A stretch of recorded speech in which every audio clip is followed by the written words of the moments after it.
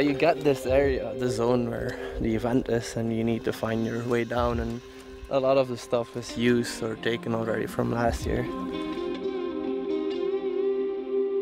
It's definitely gnarly. Everyone on the rider's right of where we're at, not entirely sure like what everyone's doing up there. There's a lot of like ifs and whats. I wanted to find a different way down on most guys around this area, and I want to be on that ridge. And then Gaetan spotted this thing.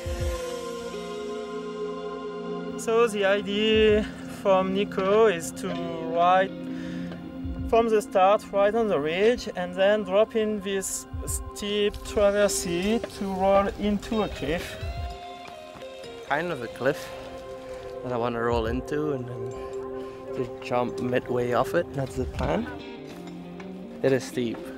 I don't think it's possible to go a lot steeper, so I don't know. Pretty sketchy. It's a long shot, but I think if the build goes well, we got it.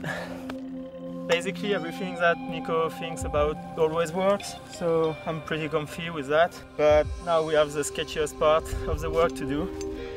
Just walking above this cliff. It's sick to like see how someone like can turn something that you look at and you don't think it's gonna work into something that actually works. So Tried to find the possible in the impossible, I guess. I don't know.